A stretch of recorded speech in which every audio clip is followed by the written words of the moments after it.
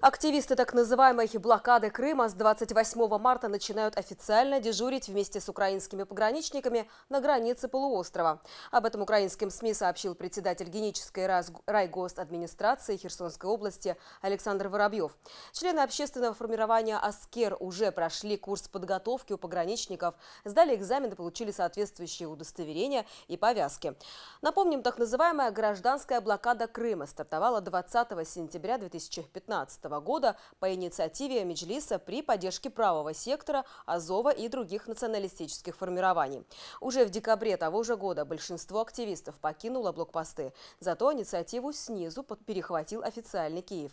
16 декабря правительство Украины приняло решение о запрете поставок товаров и услуг в Крым и из Крыма.